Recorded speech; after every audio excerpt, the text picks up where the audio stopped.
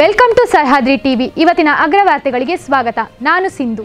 ಕುವೆಂಪು ವಿಶ್ವವಿದ್ಯಾಲಯದ ಸ್ನಾತಕೋತ್ತರ ವನ್ಯಜೀವಿ ಮತ್ತು ನಿರ್ವಹಣಾ ವಿಭಾಗವು ವನ್ಯಜೀವಿ ಅಧ್ಯಯನದ ಪ್ರಾಯೋಗಿಕ ತಂತ್ರಗಳ ಕುರಿತು ಒಂದು ವಾರದ ಕಾರ್ಯಾಗಾರವನ್ನು ಹಮ್ಮಿಕೊಂಡಿದೆ.